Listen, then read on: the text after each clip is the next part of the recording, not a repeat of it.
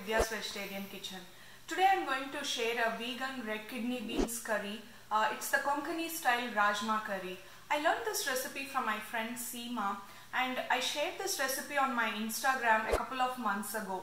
Many people tried it and they liked it as well. I can't wait to share this with you guys now. Let's get started.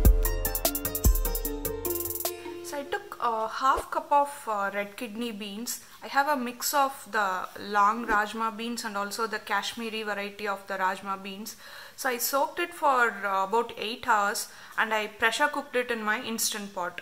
So I uh, pressure cooked it for 6 minutes and I uh, let the pressure release naturally. You can cook this on uh, the stout top pressure cooker as well.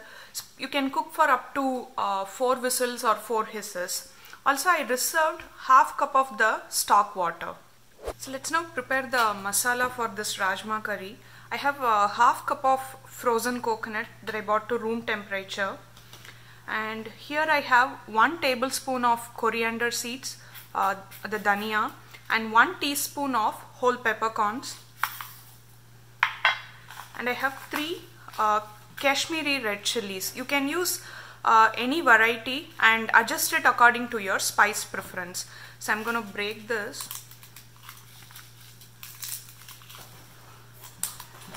So I'm going to grind this using a quarter cup of water and then let's get started with the cooking. As you can see the pan is already hot and I added 2 teaspoons of coconut oil. Now I'm going to add 1 teaspoon of cumin seeds and few curry leaves. Tore the curry leaves into small pieces. The pan was pretty hot so it started spluttering right away. Now I'm going to add one red onion that I chopped.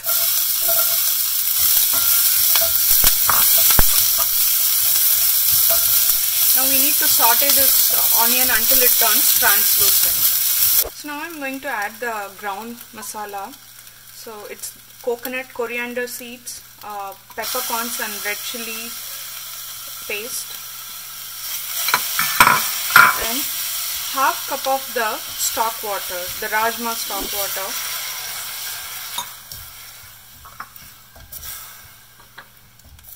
Half tablespoon of the uh, Himalayan pink salt.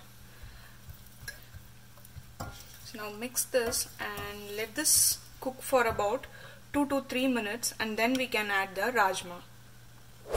So the masala has been cooking for 2 minutes now. So now I'm going to add the uh, cooked uh, kidney beans. And now I'm going to add coconut milk. This is uh, store-bought coconut milk. It's approximately 1 cup.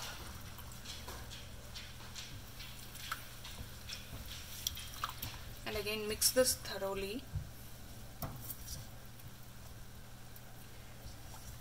Now allow this curry to simmer over uh, low heat for 2 to 3 minutes. And then let's add cilantro. And that's it. The rajma curry is ready. So the curry is simmering for about 3 minutes now. And it's pretty much done. I'm going to add fresh cilantro. Approximately one and a half tablespoons. And that's it friends I'm gonna turn off the heat. The Konkani style Rajma curry is now ready. Here it is friends, the Konkani style Rajma curry or the red kidney beans curry.